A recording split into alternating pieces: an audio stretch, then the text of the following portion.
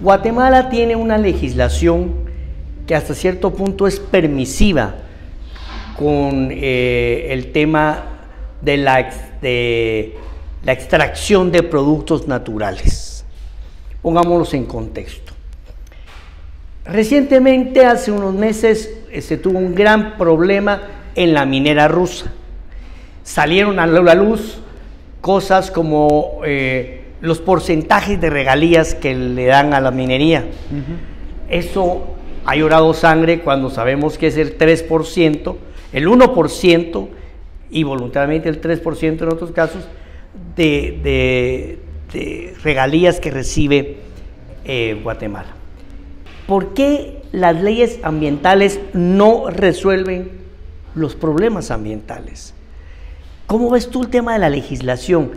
¿Es muy prohibitiva? ¿No está completa?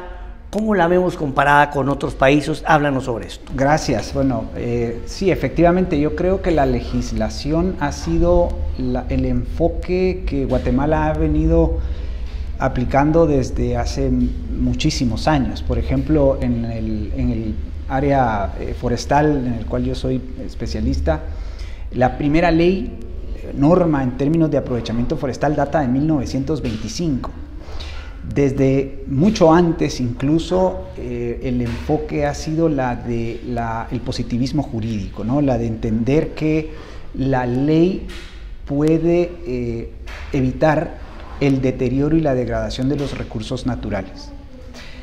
Pero a este enfoque subyace una, una premisa eh, equivocada, ¿no? que es la de que mediante una política de comando-control a través de instituciones gubernamentales, los ciudadanos van a reaccionar de una manera en la cual el, medio ambiente se protege. No se contempla que en realidad el recurso natural, que es, eh, por cierto, es un recurso económico, es un recurso escaso, por tanto, eh, en realidad responde a incentivos más poderosos, como la ley de la oferta y la demanda. Y por tanto hay, hay una institución que se ha olvidado, eh, creo que yo creo, podría decir que eh, con intención de olvidarla, es la institución de la propiedad privada y del el fenómeno del mercado. Cuando el mercado y la institución privada y la propiedad privada se, encuentran, o, el, digamos la institución de la propiedad se encuentran, las leyes pasan a un segundo plano y por tanto no hay entidad gubernamental, no hay poder gubernamental que pueda eh, cambiar el comportamiento de los seres humanos. Entonces el problema de los recursos económicos de origen natural es fundamentalmente económico. Y, eso pues pasa eh, por otro tipo de políticas públicas, Richard y amigos. Por ejemplo, el caso de la minería del cual usted habla, yo soy de la eh, opinión de que el subsuelo debiese de, eh, de ser de propiedad privada. Hoy en día la constitución política de la República y las leyes específicas en la materia establecen que el subsuelo es estatal. Entonces, en, en cuanto a la, propiedad del subsuelo sea estatal, van a florecer y a permanecer toda esta conflictividad social que existe eh, eh, sobre la explotación de los minerales y pues obviamente también el tema de, de, las regalías. ¿no? La propiedad estatal del subsuelo eh, corresponde al sistema regalista que tenemos. Nosotros debiésemos transitar a un sistema de, alguna, de alguna manera el tema de la explotación del subsuelo, eh, es necesario que sea regulada de alguna manera porque implica consecuencias ambientales si no es bien manejado. Entonces, ¿cómo hacemos para encontrar regulaciones ambientales, verdad? Porque la explotación ambiental tiene un impacto. Entonces, por ejemplo, usted me dice que la la propiedad privada tiene que ser, eh, eh, el subsuelo debe ser propiedad privada, pero si la explotación de ese subsuelo eh, afecta el bien común de la, de la comunidad, allá nos ve, ahí tiene que haber algún tipo de regulación. Claro, pero no, no regulación gubernamental. Lo que deben existir son contratos y debe de existir una, un sistema de justicia que pueda dirimir los eventuales conflictos que puedan suceder. Ahora, usted dice hay impactos. Sí, claro, hay impactos. Desde toda actividad humana tiene impactos. El tema está si esos impactos eh, es posible medirlos y, eh, digamos, eh, ubicarlos dentro de un, de, una, de un sistema de propiedad privada. El problema es que hay muchos bienes que son públicos en nuestro país. Entonces usted no sabe realmente quién sale afectado por esos impactos. Lo, y a eso en economía se le llama externalidades. la externalidad es todo aquel impacto positivo o negativo que ocurre más allá de las fronteras de, un, de una área de producción. Pero lo que tenemos que lograr los guatemaltecos es establecer y clarificar los derechos de propiedad de cuanto sea posible, porque en tanto y en cuanto hayan claros derechos de propiedad y un sistema de justicia, por cierto, restitutiva y compensatoria, y contratos sobre los cuales puedan basarse los peritajes técnicos y las, eh, eh, los castigos o las penas, entonces no es necesario que hayan regulaciones ambientales, sino contratos, un sistema de justicia fuerte, diligente y claros derechos de propiedad. Ahora, ¿Cree usted que es posible hacer crecer económicamente eh, y a la vez conservar el medio ambiente al mismo tiempo? Por supuesto que sí, creo que es posible eh, que haya crecimiento económico y conservación ambiental. Creo que no solo es posible, sino es necesario que sea de esa manera. la existencia de tantas regulaciones ambientales lo que genera es una desinversión en, Guatemala. Hoy por hoy eh, los países como en los países como eh, del continente africano recientemente acaban de firmar un tratado de creo yo verdadero libre comercio en el cual no se contemplan regulaciones de tipo laboral ni regulaciones de tipo ambiental. Veamos lo que está pasando en continentes como África. Los leones africanos en lugar de autoimponerse una serie de regulaciones ambientales, lo que están haciendo es evitar las regulaciones ambientales. Y por supuesto, eso ha creado está creando un crecimiento económico que está sacando de la pobreza a millones de africanos en aquel continente. Yo creo que para crecer económicamente debemos eh, transitar a, un, enfoque, a un nuevo paradigma, el paradigma del ambientalismo de propiedad privada. Y eso no se hace con legislación ambiental, sino que se hace eh, mediante contratos, mediante un sistema de justicia fuerte, probo, diligente, imparcial, rápido, que pueda dirimir esos conflictos y se hace clarificando los derechos de propiedad privada. Pero para eso, pues insisto, el gobierno debe limitarse a sus funciones de seguridad, justicia y obras de infraestructura física, Richard. En cuanto al Estado se le den múltiples funciones, poderes y recursos, eso es prácticamente imposible. Bueno, usted mencionó el tema de, África.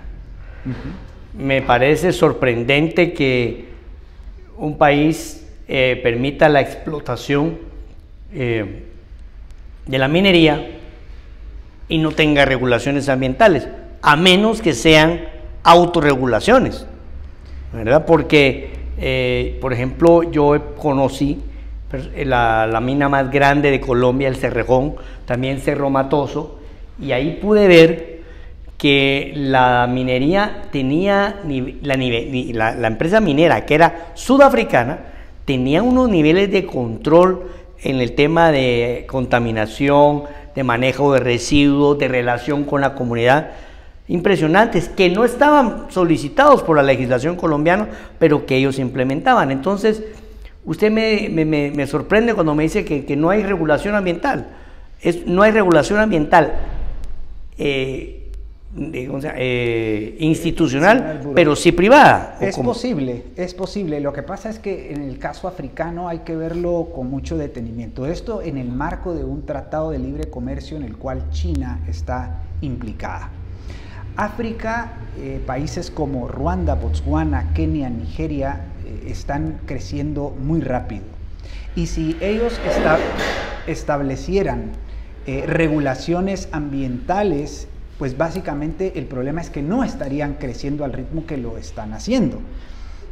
ellos están creciendo y están construyendo muchísima infraestructura. Por ejemplo, van a, es posible que logren establecer una línea de trenes entre varios de estos países en el continente africano. 54 de 55 países han firmado este tratado. Ahora, eh, el tema no es que se... Puede ser que estén supeditados a algún tipo de estándar internacional, ¿sí? Pero aún eso es posible que desde la perspectiva del ambientalismo de propiedad privada pueda ser cuestionado, porque eso implica muchos costos, Richard. Yo creo que las empresas deben de responder a una demanda, deben de conocer a su cliente y el cliente debe estar en la posibilidad de poder pagar por productos eventualmente más amigables con el ambiente, pero eso es en la medida en la que el, el, Sí, porque, por ejemplo, usted, usted, me habla de África, pero los, los, diamantes de la sangre, los, los diamantes de sangre tuvieron, estaba la oferta, pero el hecho de ser reconocidos como diamantes de sangre bajaba su precio.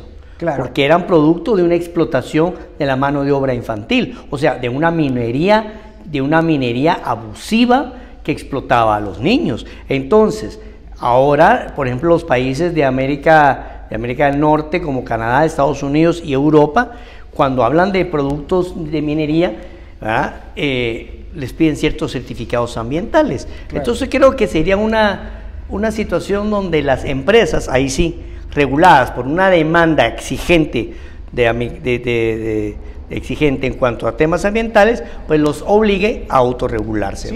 Ahora, usted mencionó África. ¿Qué otros países eh, tienen, eh, han, implementado esto? Bueno, básicamente los países de, Occidente y pues básicamente Estados Unidos y Europa. Lo que pasa es que hoy por hoy no podemos analizar a Estados Unidos y Europa del siglo XX. Tendríamos que, tendríamos que analizar eh, cómo se desarrollan y crecen estos países, pero anteriormente al siglo XX. El siglo XX, bueno, tiene muchos eh, factores de sesgo, digamos, ¿no? Las dos guerras, por ejemplo, eh, y, muchos otros fenómenos que no, nos podrían eh, permitir comprender el fenómeno. Europa y Estados Unidos principalmente son países que, gracias al capitalismo, eh, logran desarrollarse tecnológicamente y logran dar saltos tecnológicos y logran transitar de una economía basada en recursos naturales a una economía basada en servicios y tecnologías. Eso refleja de alguna manera los estudios del premio Nobel Simon Kuznets que establecen que a mayor ingreso per cápita de los ciudadanos o de los habitantes, hay un periodo en el cual hay un incremento en el deterioro ambiental de un país. Pero hay un momento en el que ocurre un punto de inflexión.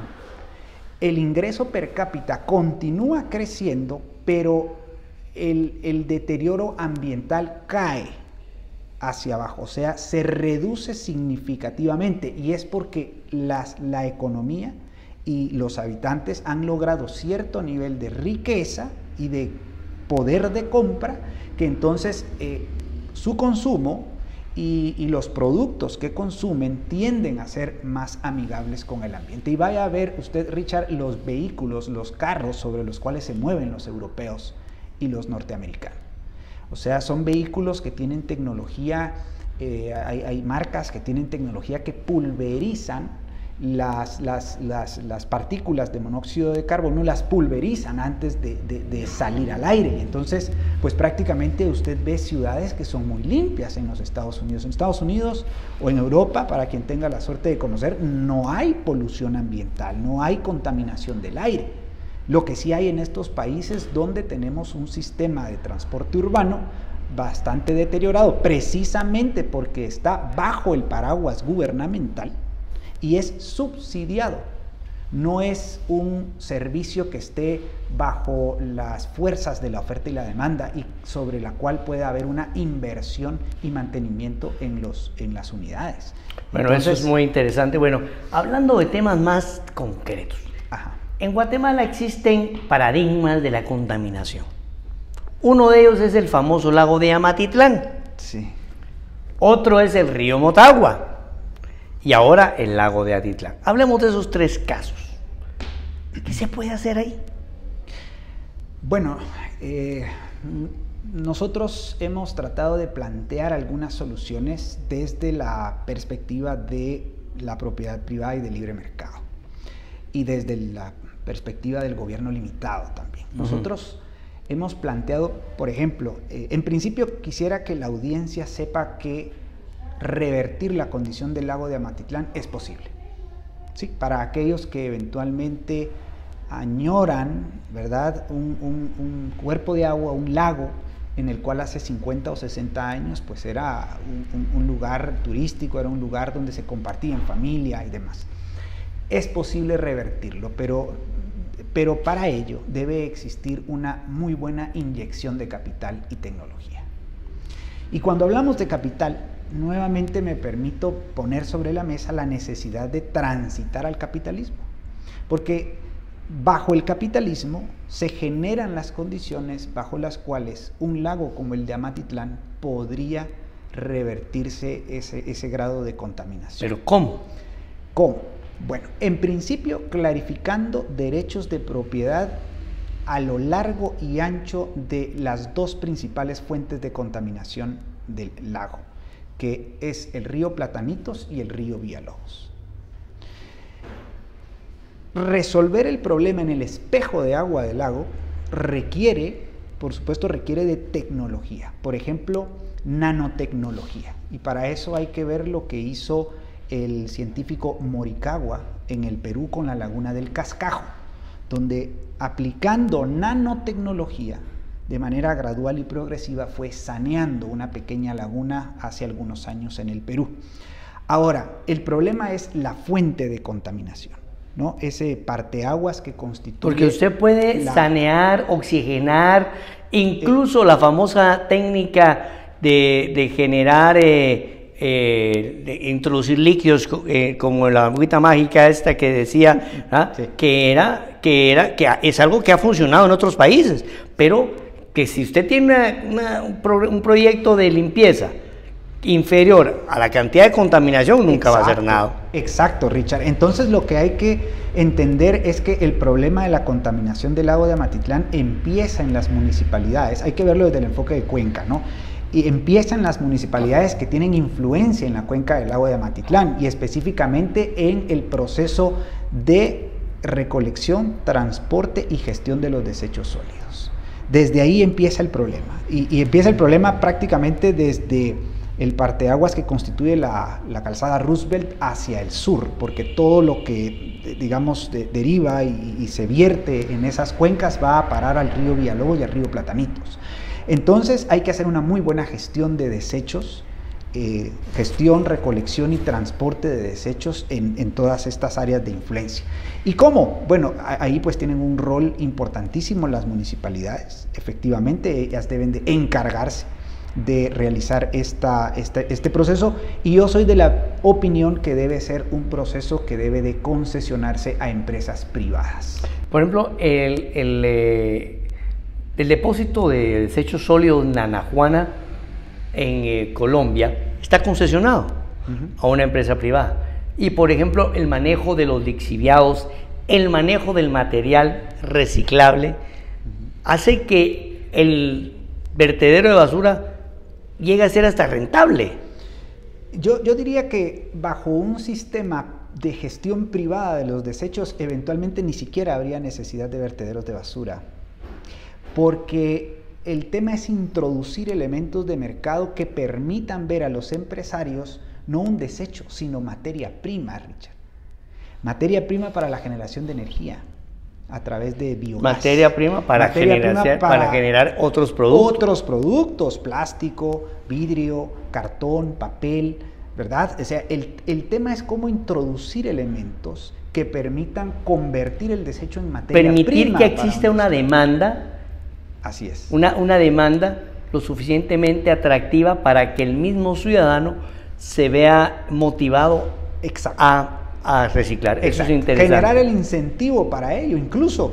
No solo no tendríamos que pagar por la recolección de basura, de basura, nos tendrían que eventualmente pagar por transferir esas materias primas. Imagínense. Si se corrige eso y se aclaran los derechos de propiedad en el curso de los ríos eh, Platanitos y, y Villalobos, entonces, y se establece un sistema de justicia pronta, imparcial, fuerte, que pueda dirimir, podría haber un sistema o, un proceso de demandas, demandas judiciales en las cuales se trata de identificar al, al agente contaminador y se le, y se le establecen penas que puedan ser, que pueda resarcir y reparar el daño. Entonces usted evita que esa cantidad de contaminación entre al lago de Amatila.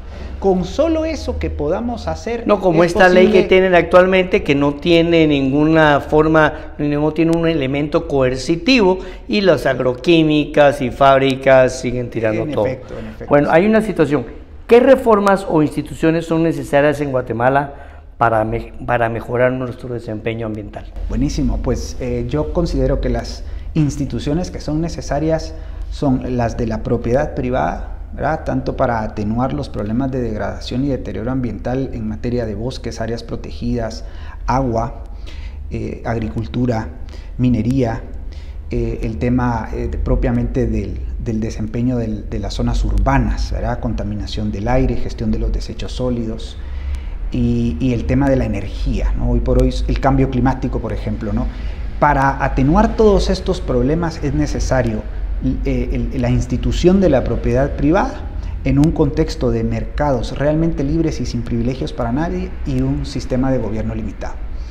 Y para eso eh, yo creo que es necesario aplicar cinco grandes reformas. Una reforma política eh, orientada a reducir el tamaño del Estado, a sus funciones eh, propias y naturales, que son la seguridad, la justicia y las obras públicas nada más.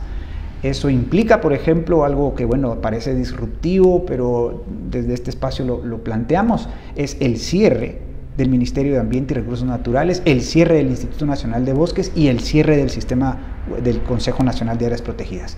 Eso no quiere decir que, que, estos recursos vayan a quedar, eh, digamos, a, a mansalva ahí para cualquiera, no.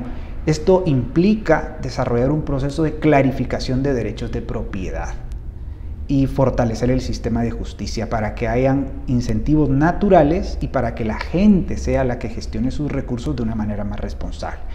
Eh, reducir el gobierno pues implicará eh, un, impuesto único que, que, bueno, proponemos eh, para que se cumplan a cabalidad y con, eficiencia sus funciones de seguridad, justicia y algunas obras de infraestructura pública. Una reforma en el ámbito de la economía y las finanzas, eh, básicamente abrir los mercados, eh, desregular y privatizar todo aquello que es necesario privatizar, como por ejemplo el subsuelo esa política pública de privatizar el subsuelo, yo soy un convencido que generaría muchísimos ingresos, no para el Estado como es hoy por hoy, sino para la gente que vive en el municipio de Zipacapa, eh, San Marcos, o en el municipio de Santa Rafael Las Flores, o en San Pedro Ayampuc, eh, que, sigue siendo gente pobre, pues, ¿verdad? Y que no se les da la oportunidad de que ellos puedan ser, generar la riqueza mediante contratos con empresas nacionales o multinacionales, ¿por qué no?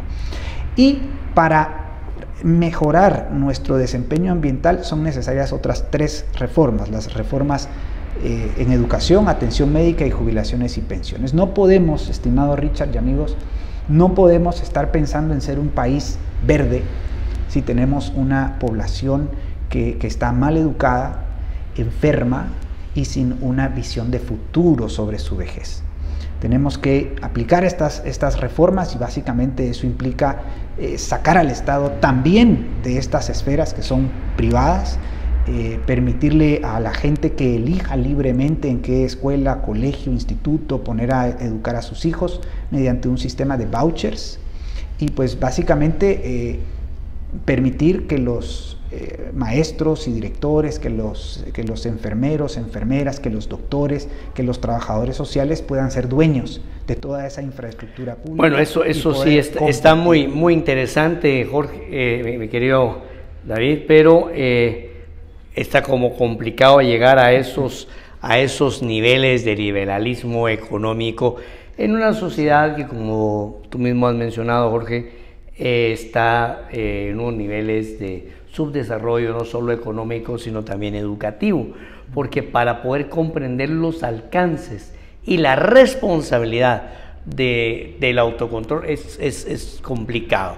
Eh, anular el los ministerios, pues sería lo ideal que la gente pudiera autorregularse, pero es difícil. Bueno, yo te quiero agradecer la participación en este espacio, es muy interesante ver las opciones que maneja porque son opciones que nacen desde una perspectiva de un liberalismo clásico, ¿no? Así es. Y, es, bueno conocer. Claro, una cosa es decir, otra cosa es hacer, y hay que ir eh, trabajando para que este tipo de propuestas enriquezcan el foro de discusión ideológico en Guatemala. Te esperamos para una siguiente entrevista, pero es así, solo vamos a hablar del fusionismo, de la política y de lo que podemos hacer país. Vamos a un corte comercial y regresamos con más acá en Conexión GT.